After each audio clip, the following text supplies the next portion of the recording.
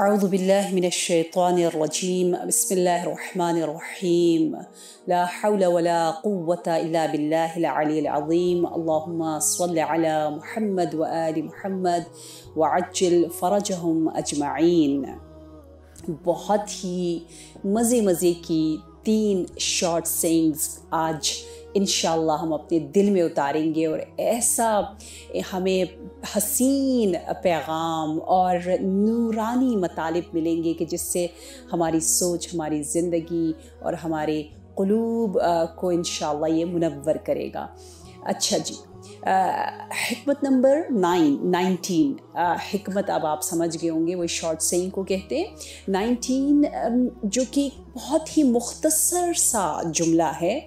आ, लेकिन इतना इसमें डेप्थ है हमारी बेहतरीन साइकोलॉजी हमारी नफ्सियात की तर्जुमानी मौला अमीर अमीरमिन फरमा रहे हैं और हमारी बहुत बड़ी कमज़ोरी, इतनी बड़ी कमज़ोरी है कि मैं हैरान हुई कि इस मौजू पर इतनी ज़्यादा ज़्यादा ज़्यादा रिवायतें मैं पढ़ पढ़ पढ़ पढ़ के जो है वो लुत्फ़अंदोज़ भी हो रही थी और खौफ भी आ रहा था। वो क्या है? वो हमारी आरजुएँ, वो हमारे डिज़ायर्स वो हमारी ख्वाहिशात के बारे में है। इमाम अलीसम गोया पूछना चाह रहे हैं कि हमारी आरज़ू क्या है? ख्वाहिशात क्या है? आज आप बैठ के लिखिएगा। और जो व्हाट्सएप पर मेरे साथ मौजूद है, मैंने उन सबको हमत नंबर, शॉर्ट सिंग नंबर 19 भेज भी दिया है। आप तक पहुँच गया है। इन्जॉय करें नोट्स को, जो कि बहुत मज़े के हैं। और देखना ये कि हमारी आरज़ू क्या है। क्यों? क्योंकि हर शख्स की शख्सियत का अंदाज़ा उसकी आरज़ू से होता है। उसकी सोच से होता है, उसकी ख्वाहिशात से होता है। मौला क्या फरमा रहे हैं? मौला फरमाते मंजरा आइनान अमल ही आसरा बे अजल ही जो ऐसा शख्स हो कि जिसको उसकी आरजुएँ चला रही हों। देखिए, इसमें तीन अहम वर्ड्स हैं, जरा। जरा जरियान से, हरकत से मूव जो मुझे जो चीज़ मूव कर रही है, वो ऐनान यानी वो लगाम। अमल जो अलिफ के साथ आता है, उसका मतलब है ख्वाहिशात। If you remember if you are माशा having so many sittings with me तो आपने अमल को बहुत ज़्यादा देखा होगा। ये बार बार रिवायतों में है, अमल अमल से ज़िंदगी नहीं बनती, बल्कि अमल से बनती है। आन वाला अमल यानी something to do struggle practice you know और लेकिन अमल अलिफ से जो है, हमज़ा से जो है, उसका मतलब है जस्ट यू नो जो आप आप ख्वाब ख्याल की दुनिया में रहते हो वर्ल्ड ऑफ़ फैंटसी जो होती है। तो जो जिसने ख्वाहिशात, अपने डिज़ायर्स जो इंसान को धोखा देती है चीट करती है, उसके हाथ अपने आप को दे दिया यदि अपने आप को बेख्तियार कर दिया। अनकंट्रोलेबल हो गया वो शख्स, ठीक है? तो आसारा आसारा यानी वही लफ्ज़िश को भी कहते हैं शॉर्ट कमिंग्स को भी कहते हैं गिरने को भी कहते हैं वो शख्स वो शख्स उसकी आरज़ू उस वक्त जाके ख़त्म होंगी जब मौत आएगी बे अजल अजल जो है वो मौत को कहते हैं यानी मौत आकर उसकी आरजुओं को स्टॉप कर सके। मौत के अलावा कुछ भी उसे नहीं रोक सकता। वो इसी तरह जो है वो अपनी ख्वाहिशात की दुनिया में मगन, मस्त, गाफिल रहता है। चले, कितना ही अच्छा हो कि हम नहजुल बलागा की इस हसीन सी जो मौला की नसीहत है, इसको समझे नहजुल बलागा के ही ज़रिए। जैसे होता है ना कुरान की तफसीर कुरान के ज़रिए नहजुबलागा की शरह कॉमेंट्री नहजुबलागा के ज़रिए। So let's let's travel towards some sermons of Nahjul Balagha. Uh, sermon number 109 and sermon number 59 को हम ज़रा सा हैं। 109 में कह रहे मन आशक शैअन आमा बसरहु। इमाम अली अलैहिस्सलाम फरमा रहे कि जिसको जिस चीज़ से इश्क मोहब्बत हो जाती है वो उस चीज़ के बारे में अंधा हो जाता है ब्लाइंड हो जाता है। जिनकी जिनकी उर्दू वीक है उनके लिए नोट्स मौजूद है। सॉरी तो इसलिए मैं थोड़ा आ, आ, मुश्किल उर्दू भी बोलती जा रही हूँ क्या करें? उसे कुछ नज़र नहीं आता। जब उसे कुछ नज़र नहीं आता, उसके सामने अगर कोई कोई बहुत ही ख़तरनाक भी चीज़ है, वो चलता चला जाता है, चलता चला जाता है, चलता चला जाता है। मौत के अलावा उसे कुछ भी नहीं रोकता। ये मौला अली फरमा रहे और सरमा नंबर 52 में कहा कि, मेरे नबी मोहम्मद मुस्तफ़ा सल्लल्लाहु अलैहि वसल्लम भी खौफ रखते हैं, डरते हैं कि मेरी उम्मत दो चीज़ें जो है, उससे मुझे खौफ आता है। वो एक, इत्तबाउल हवा, दूसरी तूल अमल। कहते हैं मुझे दो चीज़ों से डर है। वो क्या है? वो ये कि मेरी कौम जो है, वो ख्वाहिशात नफसानी की ग़ुलामी ना करे। क्यों? क्योंकि जो ख्वाहिशात नफसानी और मैं मैं मैं के पीछे जाएगा यसुद्द अनिल हक, वो हक से दूर हो जाएगा। और जिसकी आरजुएँ लंबी होगी, वह यून सिल आखिरा, वो आखिरत को भूल जाएगा। तो क्या पता चला? पता ये चला कि हमारी जो ऐसी ख्वाहिशात है जो हमें गफलत की तरफ़ लेकर जाती है, ये ख्वाहिशात एक राइड की तरह है, एक मरकब की तरह है। देखिए ना, इमाम अली सलाम ने इस हमत में एक मिसाल दी है, एक तशबीह दी है, कहा है कि एक मरकब की तरह है जिस पर हम सवार हैं और ये हमारे कंट्रोल से खारिज हो गया निकल चुका है। ये हमें गलत गलत जगहों पे ले जा रहा है। जो चीज़ हमें जगाएगी कि हम कहाँ गलत जा रहे हैं, वो सिर्फ़ और सिर्फ़ मौत होगी। मौत ही हमें उठा सकती है वगरना हम मस्त और गाफिल रहेंगे।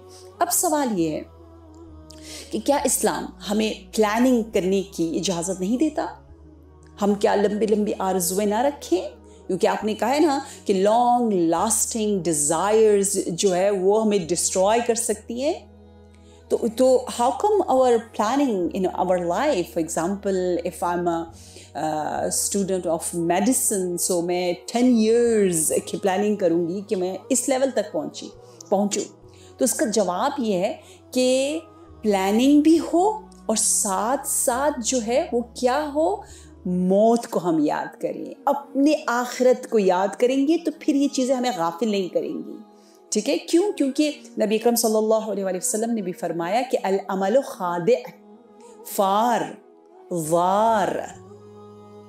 अमल यानी वही जो हमारी विशेस जो हमारी ख्वाहिशात, जो हमारे डिज़ायर्स हैं, वो हमें चीट हमें डिसीव करते हैं नंबर वन वो हमें फरार करवा देते हमें भगाते रहते हैं। हम भागते भागते भागते। मसलन आज मैंने कुरान पढ़ना है नज बलागा उठाना है।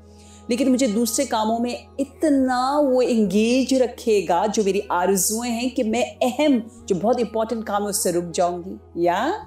सो so, ये मुझे एक के बाद दूसरी एक आरज़ू पूरी दूसरी दूसरी के बाद तीसरी इसी तरह मुझे मसरूफ़ रखेंगे। तो मौला अली क्या कहना चाह रहे हैं कि छोटी बहुत ही छोटी सी जो ये ज़िंदगी है, इसको जो मिराज, जो सराब जो वहमो ख्याल की दुनिया है डिसल्यूजन की दुनिया है, उसमें दौड़, उसके पीछे दौड़ दौड़ कर इस ज़िंदगी को ख़त्म न करो। इस ज़िंदगी को इन्वेस्ट करो अपनी असली ज़िंदगी के लिए। और मौला अली ने क्या खूब फरमाया, आपने फरमाया अमलो सुल्तान अला जितने नेग्लिजेंस जितने निगलेक्टेड अल्लाह की याद से दूर दिल है, उन दिलों पर जो शयातीन सल्तनत करते हैं, हुकूमत करते हैं, वो कैसे करते हैं? वो अमल के ज़रिए करते हैं, वो आरजुओं के ज़रिए करते हैं। लिहाजा क्या है अक्जब अमल कहा गया, सबसे झूठी चीज़ है ये आरज़ू, झूठ बदतरीन झूठ है जो हमें इसी तरह इंगेज रखती है क्योंकि ये फार भी है, ज़ार भी है, हमें बहुत ज़्यादा हार्म पहुंचाती है। अब हम क्या करें? हमने कहा, देखिए, सुरह काफ इतना अच्छा हमें जवाब दे रहा है and we have done Surah Kahf together या सुरह काफ आयत नंबर आई थिंक 46 में है।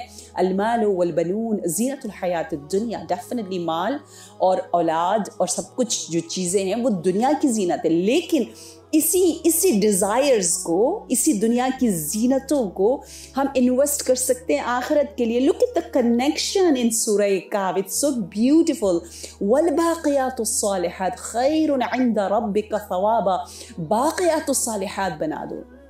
यानी क्या? यानी हम हम जब सिर्फ़ दुनिया का सोचते हैं तो हम कहते हैं, बस बेटा या औलाद, बच्चा एक ही अच्छा या बच्चे दो ही अच्छे यू you नो know? क्यों? क्योंकि मुश्किल है। क्यों? क्योंकि ये नहीं है, क्योंकि वो नहीं है।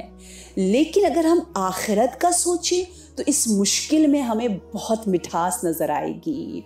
क्यों? क्योंकि एक बच्चा जब नमाज़ पढ़ेगा हमारा, हमारे मरने के बाद, हमें उसका पूरा पूरा पूरा पूरा अजर सवाब मिल रहा होता है। क्या बात है हमारी। कितना हमें सवाब मिल सकता है। ठीक है, कुरान में क्या खूब कहा यह है बोले, भाई, यह बोले, मैं यशा ओ इनासा। अल्लाह जिसे चाहे गिफ्ट में बेटी दे देता है, जिसे चाहे गिफ्ट में बेटा दे देता है, जिसे चाहे कभी कुछ नहीं भी देता तो ले लो ले लो, इंसान को ज़रूरत है, वरना क्या होगा? वरना कुत्ते और बिल्लियों के साथ जो है वो इंसान टाइम स्पेंड करने लग जाएगा, अल्लाह ना करे वो वक्त आ जाए। तो लिहाजा, अगर हमने इन्हीं चीज़ों को आप, आपकी डिज़ायर ये है, आपकी आरज़ू ये है कि आपके पास एक बहुत बड़ा सा घर हो, बहुत बड़ा सा वीला हो। उसमें आप आप बेहतरीन प्रोग्राम्स करें यतीमों गरीबों के लिए कुछ वहाँ पर बैठ के इन्वेस्ट करें। ऐसी आरज़ू है तो खुदा आपको वो घर भी दे दे। ठीक है? नीयत अच्छी होनी चाहिए। ज़्यादा औलाद होता है कि आप इसके ज़रिए खूब इन माशरे की खिदमत करें। यूँ आरजुएँ या हमारी आरजुएँ कि इन एक दिन हज़रत ज़ैनब सलाम के साथ आपकी अयाम विलादत आने वाले। आपके साथ बैठ कर हौज़ कौसर पर बैठ कर हम नहजुलबलागा को पढ़ें इन तो क्या पता चला? बिल्कुल आखिरी पॉइंट है। और हम ख़त्म कर रहे हैं हमत नंबर 19 को कि हर शख्स की शख्सियत का अंदाज़ा उसकी आरज़ों से होता है, उसकी तमन्ना से होता है। तो इसलिए आ, ऐसा ना हो कि हमारी आरजुएँ इतनी छोटी छोटी हो बड़ी बड़ी होनी चाहिए। मसलन मैं किसी का स्काफ देखूँ और कहूँ अल्लाह काश मेरे पास ऐसा स्काफ हो ये कहाँ से लिया है मैं वहीं पे अटकी रहूँ कि हाय मैं ऐसा लिबास पहनूँ जो मैं जो किसी ने पहले ना देखा हो। काश ये काश वो अल्लाह करे हमारी मेरी दुआ है हम सब के लिए कि हमारी सोच बहुत ऊँची हो जाए, बल्कि हम हम यूँ डिज़ायर करें कि काश मेरी नमाज़ में और ज़्यादा तवज्जो, ये गम हमें खाया जाए कि मेरी नमाज़ इतनी बेतवज्जो क्यों है? हमत नंबर ट्वेंटी की जानब हम जाते हैं, जिसमें मौला अमीरमिन आसमाम बहुत ही प्यारे अंदाज से हमें पैगाम दे रहे हैं और ये पैगाम इतना अहम है कि आप फरमाते हैं अकीलू। अकीलू इसे अकाला कहा जाता है। ये बहुत ही अहम वर्ड है क्योंकि दुआओं में भी बहुत ज़्यादा आता है या मुकील असरात। ए, ए गुनाहों को शॉर्ट कमिंग्स को माफ़ कर देने वाला। जविल मरुआत। मुरुवत एक लफ्ज़ है मुरुआत नंबर टू नंबर थ्री असरात। असरात वही शॉर्ट कमिंग्स तीन अहम अल्फाज यहाँ पर मौजूद है। सबसे पहले चलते अकाला की जाने पता है हमत नंबर ट्वेंटी में कितना प्यारा पैगाम है? यू कान बिलीव इट यहाँ अल्लाह ये कहना चाह रहा है कि just look at look at the way Allah is dealing with his you know some some special people in that sense some good people Allah किसकी मदद करता है? कब मदद करता है? ये दास्तान बहुत ही अजीब है। अल्लाह किसकी मदद करता है और क्यों करता है ये यहाँ हमारी तवज्जो बहुत कम है दिस दिस हमत number twenty is truly essential for for our our life because i'm just thinking that how come we are so far away from the beautiful teaching of amir al-mu'minin alayhi salam हम बहुत दूर है क्यों इतने दूर हैं देखिए अकीलू, अकील अकाला असल में कहते हैं कि अगर आप किसी के साथ कोई डीलिंग कर रहे हैं, कोई कोई चीज़ आपने बेची है और वो वापस कर देता है, कहते हैं I don't wanna I want I don't wanna you know by it जैसे रिटर्न कर देते हैं। तो आप जो है वो खुशी खुशी खुशी से उसको ले लो। हदीस में है, सवाब है। बाज़ लोग लिख के लगाते हैं अपने शॉप्स में या आजकल अपने पेज में कि आपने अगर एक दफ़ा ख़रीद लिया तो फिर हम वापस नहीं लेंगे। जबकि सवाब ये कि आप ये लिख के लगाओ कि हम वापस ले लेंगे, बिला वजह भी हो तो ले लेंगे, कोई बात नहीं, कोई रीज़न भी होना नहीं चाहिए। ऐसा अखलाक इतना मज़े का इस्लाम है, वाओ। ठीक है? अच्छा तो अगर कोई चीज़ वापस करता है तो आप उसको आसानी से ले लो, माफ़ कर दो। तो इसलिए माफ़ करने को भी अकाला कहा जाता है अकाला ठीक है? मुकील अकीलू यहाँ पर। अकीलू यानी माफ़ कर दो किन है ये ये ये ब्रैकेट में जो कहा है जविल मुरुआत this is very important have you heard about मुरुवत जवान मर्दी हम कहते हैं uh, उर्दू लैंग्वेज में कि जवान मर्द बुदन मुरुवत क्योंकि बहुत से पर्शियन स्पीकर्स भी हमें सुन रहे हैं अल्हम्दुलिल्लाह। सो so, जवान मर्दी यानी बहुत ही अच्छे लोग, जिनमें ख़ास वर्चूज़ ख़ास फ़जाइल पाए जाते हैं बाशख्सियत शरीफ लोग। असरात अगर वो कोई गुनाह करें, अगर वो कोई मिस्टेक करें, फमा यासर मिनहुम आसिर बियदिही यरफअहु। जब वो कोई मिस्टेक करते हैं तो अल्लाह उन, उनको थाम लेता है। अल्लाह जो है वो उन्हें बुलंद कर देता है। वो ज़रा सा गिरने लगते हैं अल्लाह उन्हें ऊँचा कर देता है। ऐसे लोग अल्लाह के साथ होते हैं। देखिए यहाँ से आप ए, दो तीन बहुत अहम पॉइंट सीख सकते हैं। नंबर वन जो बहुत ही अजीम पर्सनालिटीज़ होती हैं हमारी सोसाइटी में इट्स पॉसिबल कि वो भी कोई गलती करें। यू नो ये मुमकिन है। So first of all we shouldn't have so much expectation from them you know हमारी सोसाइटी में अनफॉर्चुनेटली ऐसा होता है कि जो अगर कोई बहुत फायस है सो हम समझते बस यू you नो know, इसको तो कोई गलती नहीं करनी चाहिए। उससे गलती हो जाए तो what what we do we make blunder out of it या हम शुरू हो जाते हैं उसको क्रिटिसाइज करना। We criticize them very easily हम उछालते हैं, जबकि अमीर मोमिन सलाम ने क्या फरमाया? कि अगर आप कुछ देखते हो बुरा, कोई ख़बर सुनते हो स्पेशली सोशल मीडिया पे नंबर वन आप पर वाजिब है कि आप तहकीक करो उस न्यूज़ के बारे में। अगर आपने कोई तहकीक नहीं करनी तो you shouldn't read it you shouldn't spread it out you shouldn't think about it वो आप समझो as if nothing you have read या अगर आपने रीड किया और उसने, उस पर अगर आपने बिलीव करना है और कुछ उसके असरात आप पर होंगे तो आपको नंबर वन तहकीक करना है, जाँच पड़ताल करनी है। You have to have to see that how how reliable this source is number two अगर सही है, खबर सही है न्यूज़ सही है, लेकिन इसमें कितना मुबालगा हुआ है, कितना एग्जिजरेशन हुआ है, क्योंकि कभी होता है एक बात इतनी ही होती है, उसको इतना बना देता है, बना देते हैं ना, ये सच्ची है, झूठ नहीं है, असल कहानी, लेकिन ऐसे नहीं था, वैसे था तो उसको भी थोड़ा देखना होता है। और नंबर थ्री अगर बिलफर्स सपोज़ कि न्यूज़ सच्ची थी, उसमें कोई एग्जजरेशन भी नहीं हुई थी, आपने खूब तहकीक की जो कि बहुत कम ऐसा होता है, नहीं कर पाते, अगर कर भी लिए तो ऐसी सूरत में भी वहीं पर वो पॉइंट वो नेगेटिव अगर कोई ख़बर हमने सुनी, उसको वहीं पे दफन कर देना। उसको वहीं पे ख़त्म कर देना और माफ़ कर देना और भूल जाना और उसको स्प्रेड आउट नहीं करना।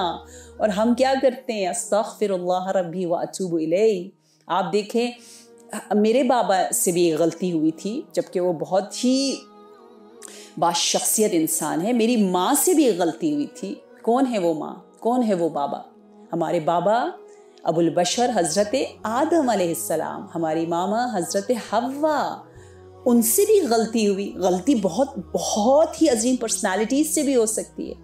लेकिन हाँ जब वो गलती करते हैं तो ऐसा नहीं कि वो गिर जाते हैं। जैसे एरोप्लेन में जहाज़ में जहाज़ थोड़ा सा जब उसको झटका लगता है थोड़ा सा वो शेक होता है मूव होता है आ, तो वो वो गलती है। ऐसा नहीं कि जहाज़ गिर जाए। हम अक्सर जब गलती करते हैं तो हम बिल्कुल ही गिर जाते हैं, लेकिन उनकी गलतियाँ, ऐसी गलतियाँ और थोड़ी सी मिस्टेक्स होती हैं तो उसको हमें बहुत आसानी से हल करना चाहिए। लेकिन अफसोस, हम और आप क्या कर रहे होते हैं? हम तो अपने शरीफ से शरीफ ख़ानदान वालों के बहुत ही अहम जो पर्सनालिटीज़ हैं, उनको भी माफ़ नहीं करते। मसलन कभी कभी ऐसा होता है हमारे इतने बच्चे इतने अच्छे शरीफ होते हैं। वो एक गलती उनमें होती है तो हम उसको फैला रहे होते हैं। अपने शोहर के बारे में अपनी बीवी के बारे में अपने कभी वालदेन के बारे में उनकी गलतियों को उछाल रहे होते हैं। और एक नुक्ता अगर आपको कोई बात याद रहे या न रहे, रहे ये ज़रूर याद रखें। मौला अली की इस हमत नंबर ट्वेंटी से तवसल करते हुए कि देखिए, लोगों की इज़्ज़त करें। ख़ास तौर पर जो अज़ीज़ है, उसकी और ज़्यादा इज़्ज़त करें। क्यों? क्योंकि जो शरीफ है चाहे शरीफ की गलती, अगर वो गलती करता है तो उस वक्त उसके साथ बर्ताव, डीलिंग भी शराफत के साथ होनी चाहिए। क्योंकि वो बहुत ज़्यादा बाशख्सियत है तो बहुत बाशख्सियत अंदाज के साथ उसके साथ रिएक्ट करना चाहिए। उसकी गलती को उसी तरह नज़रअंदाज और निगलेक्ट कर देना चाहिए, जिस तरह से अल्लाह कर रहा है। अल्फाज तो दे, देखिए, इल्ला उसको, अल्लाह उसको फ़ौरन उठा देता है, बुलंद कर देता है, मैं और आप कौन है कि हम उसको पस्त कर दें? हम के हॉय हॉय हॉय हॉय, इतनी बड़ी पर्सनालिटी इसने ये गलती कर ली है यू नो ये ये कैसी सोच है हमारी? You know they are two totally different world एक ज़मीन, एक आसमान पर। मौला अली, हमें चाह रहे ऊपर जाए, हम बिल्कुल ही नीचे जा रहे हैं, उसको दूसरों को भी नीचे गिराते हैं।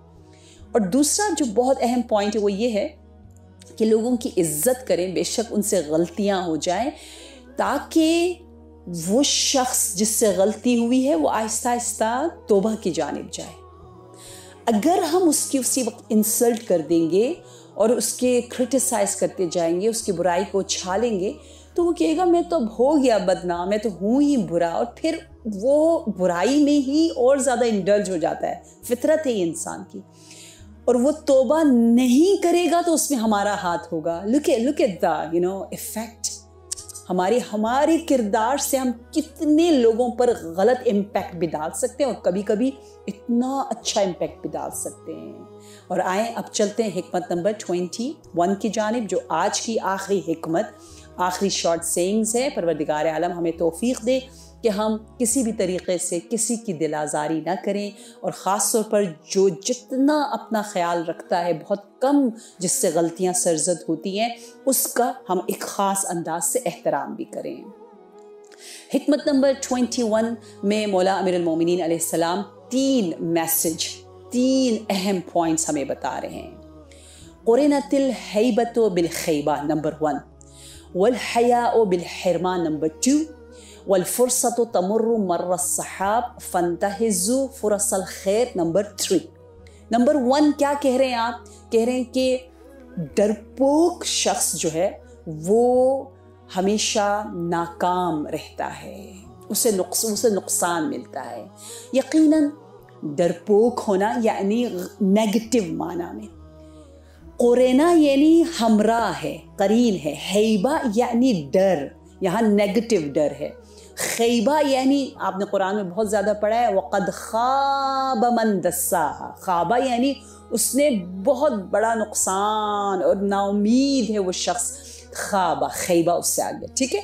तो जो डरपोक है, वो तो जो डरा, वो मरा, ख़त्म, वो चला गया। जैसे मसलन, अगर आप ताजिर हो। अगर आप बिज़नेस करते हो, हदीस में है कि ताजिर को तिजारत और डीलिंग करने वाले को नडर होना चाहिए। न थर से खौफ ना दोशते वोशे रिस्क ले, रिस्क लेना बहुत अच्छी, यानी डेफिनेटली मशवरा करने के बाद, ठीक है ना? हालात को देखने के बाद वो तमाम चीज़ें हमें पता है। लेकिन जो बहुत डर पोक होता है मतलब शादी के मामले में हाई पता नहीं कैसा निकल आएगा मेरा स्पाउस लोग शादी नहीं करते डर डर के बाज़ दफ़ा बच्चे नहीं पैदा करते। मैंने खुद इतने केसेस देखे हैं कि फ़लानी के बच्चे बहुत बिगड़ गए, ख़राब हो गए। पता नहीं हमारा बच्चा कैसा होगा, सही होगा, नहीं होगा। अजीब वहम ख्याल की दुनिया में डर, ये ऐसा डर हमें महरूम रखता है। ठीक है औलाद नहीं चाहिए, शादी नहीं चाहिए। बाज़ बाज़ ख़ास तौर पर ख़वातीन ड्राइविंग से डरती हैं रोड से डर लगता है। जो रोड से डरा वो ड्राइव ही नहीं कर सकता, वो मोहताज रहेगा। मसलन हमेशा के लिए आपको ज़रूरत है ड्राइविंग की और आप जो है वो मोहताज रह जाती हैं। मैं सदक़े में क़ुरबान, मौला अमीर मोमिनीन की हमतों पर कि short saying number one, seven, five में आपने इतना प्यारा इतना प्यारा, इतना ज़्यादा प्यारा फरमाया है। मैं तो कहती हूँ, ये ये साइकोलॉजी का सेंटर है, ये हब है नहजुल बलागा। ये मरकज़ है नफ्सियात, हमारे माहिर नफ्सियात, मौला अमीर अलमोमिन बाबुल इमाम आरफीन अलैहिस्सलाम कि आपने क्या ज़बरदस्त फरमाया कि इदा अमरन फ़ी। या अगर जिस चीज़ से तुम डरते हो डाइव स्ट्रेट इनटू इट उसी में कूद पड़ो। मुझे जिस चीज़ से डर लगता है वो ही करो। मुझे स्विम से डर लगता है, कूदो, ताकि वो डर निकले। ऐसा ही है ना? ऊपर ऊपर से देखते रहोगे, बातें करते रहोगे ड्राइविंग से डर लगता है, करना शुरू करो। डेफिनेटली वो आपको सिखाएगा, लेकिन शुरू करो। सोचते नहीं रहो। जिस चीज़ से डरे, उसी काम को अंजाम दो। क्या खूब फरमाया कितना प्यारा फरमाया मेरे आका ने, मेरे मौला ने। अच्छा जी, फिर एक और बात ये कि देखिए मौला अमीर मोमिन के ज़माने में जब मस्जिद कोफा को बनाया जा रहा था तो तीस हज़ार थर्टी थाउज़ेंड अफराद की जगह यानी इतनी बड़ी ज़मीन। उस ज़माने में पूरे शहर की इत, इतनी आबादी नहीं होती थी पॉपुलेशन बहुत कम होती थी लेकिन आपने इतना फ्यूचर का देखा यानी अपनी सोच ऊँची रखो। नहीं को I can't do this you know अब क्या होगा मैं इतना क्या करेंगे हम क्या काम आएगा? नहीं सोचो भी ऊँचा प्लानिंग भी ऊँची करो और बिस्मिल्लाह करके वो काम करते चले जाओ ताकि ज़िंदगी में कामयाब रहो। नंबर टू वल बिलहरमान बिल हरमान जो गलत कस्म की नेगेटिव हया शाय होगा वो वो बहुत सी चीज़ों से महरूम रहेगा ठीक है अच्छे अच्छा हया तो हमें पता है वालदेन से वालदेन के साथ ब्लंट ना होने में हया करें आप ताकि उनका एहतराम करें that is something very positive लेकिन गलत हया लेकिन आपका दिल चाह रहा है कुछ पूछने का, लेकिन आप शर्मा रहे हो, आपके लिए अल्लाह मैं इतनी बड़ी हो गई हूँ। इस उम्र में पूछूँगी, मसलन मैं किसी से पूछूँ मेरा सुरह हम ठीक है कि नहीं? छोड़ो यार। अच्छा अगर ऐसा है, जितनी उम्र बढ़ती जाएगी, जहालत भी बढ़ती जाएगी। ना डरो। बिस्मिल्लाह, पूछो। हम हम पूछने से, सवाल करने से, अच्छे सवाल करने से कभी हया करते हैं। कभी अपने हक लेने से हम हया करते हैं, कभी हम चैरिटी देना चाहते हैं, सब मसलन हज़ार हज़ार रुपीज़ दे रहे मेरे पास एक सौ रुपया है। आप बिस्मिल्लाह करके दो, अभी इस वक्त आपका वो सौ रुपया उसके हज़ार से भी शायद ज़्यादा हो। न न शर्माओ। शतीता का वाक़ पता है ना? न शर्माओ। ये गलत शर्म हमें उस सदक़ा से, उस इल्म के हासिल करने से, इन चीज़ों से महरूम कर देता है। इसलिए हमें क्या करना है? हमें खूब इन अपने अंदर नंबर वन हैबत को दूर करना है जो नेगेटिव है, जो अच्छी हैबत है, जैसे उर्दू में भी हम कहते हैं हैबत, जलाल, रोब और दुश्मन के दिल में खौफ, वो तो बहुत अच्छी चीज़ है। उसकी बात मौला अमीरमिन यहाँ नहीं फरमा रहे। ख़ुद नबी अकरम सल्लल्लाहु वसल्लम ने दुआ की, आपने फरमाया, खुदाया, मुमिनीन के दिल में अली, मेरे अली की मवद्दत और मोहब्बत रच रच के डाल दे और दुश्मनों के दिल में अली अपने अभी तालिब की हैबत डाल दे। तो ये हैबत तो अच्छी चीज़ है जो जो दुश्मनों के दिल में हो। और एक और हैबत है जो अच्छी हैबत है, यानी वो जो एक एहतराम है, वक़ार है, उसको भी हैबत कहा जाता है। वो मसलन उसके बारे में रिवायत में अगर आप चाहते हैं लोगों के दिलों में आपकी इज़्ज़त हो, हैबत हो, एहतराम हो तो वो उसके लिए तीन चीज़ें होना ज़रूरी है। नंबर वन आप आप लालची ना हो, बेनियाज रहें लोगों से यू नो लोगों से बार बार अपनी अपनी ज़रूरत का इजहार मुश्किल को बयान न करें हर एर गैरे के सामने। क्योंकि अगर आप मोहताज दिखाएँगे अपने आप को, फिर आपका आपकी कोई पोजीशन नहीं होगी। फिर आपकी बात में वो वो यू नो वज़न नहीं होगा। ठीक है नंबर वन नंबर टू खामोशी अख्तियार करें। क्योंकि कम गो जो होता है, जो कम बोलता है, सही बोलता है वो शख्स लोगों के दिलों में उसकी एक हैबत, एक मकाम होता है।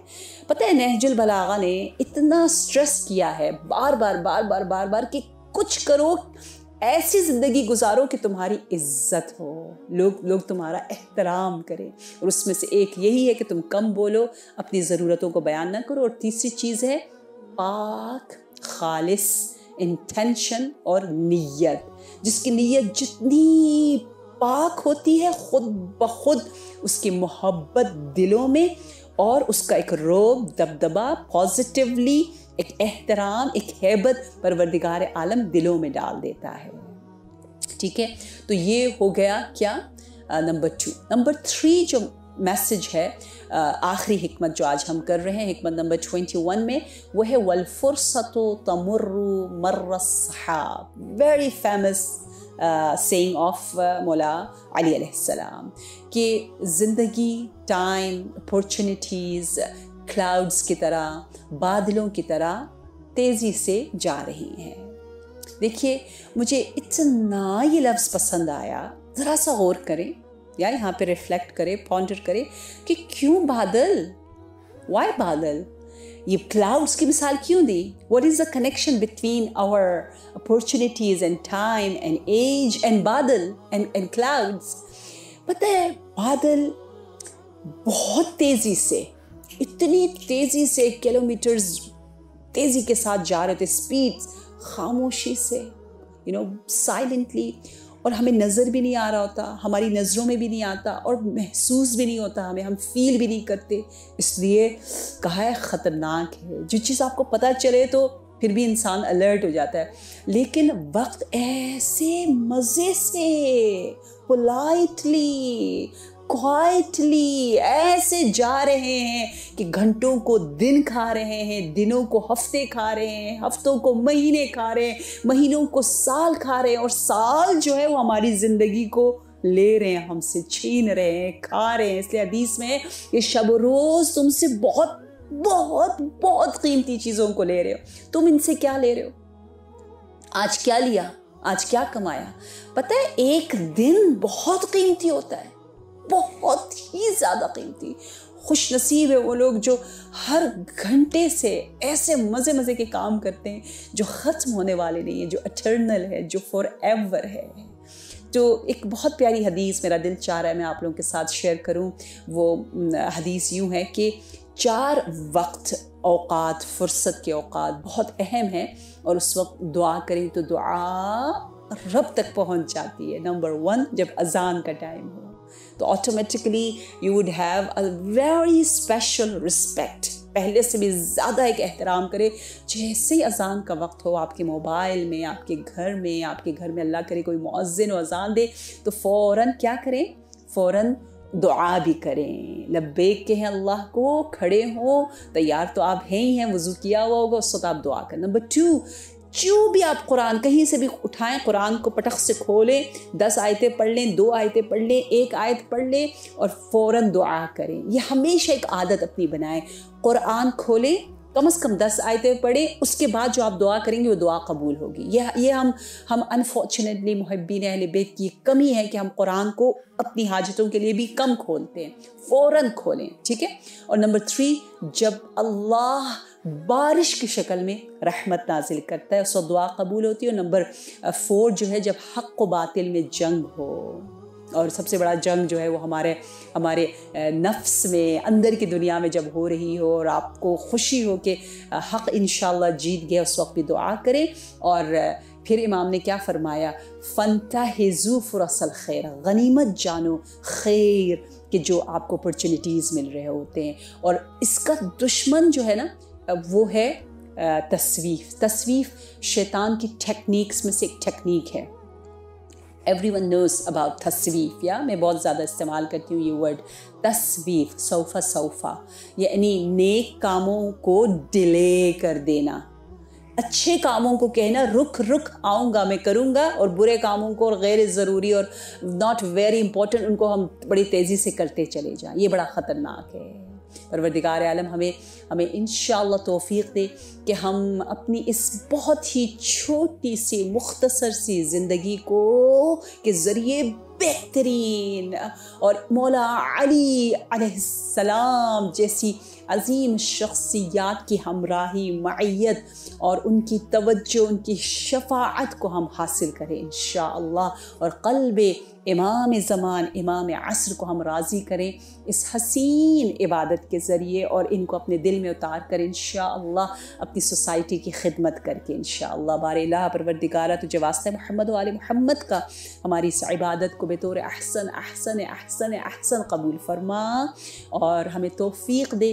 कि हम अपने दिलों से हब दुनिया को किक आउट करें, निकालें और हब नहजुलबलागा अली आल अली की मोहब्बत से लबरेज़ मुनवर हम ज़िंदगी गुजारें इन इमाम असर, इमाम ज़माना को इसने ज़हूर इनायत फरमा। बीबी फ़ातमा मासूमा सलाम का सदक़ा, बाबुल हवाइज की बेटी का सदक़ा, जो जो हाजतें बार अल्लाह उसको अपनी बार, बारगाह में सुन लें, मुस्तजाब फरमा दे। या रब या रब या रब, हम सब की आकबत को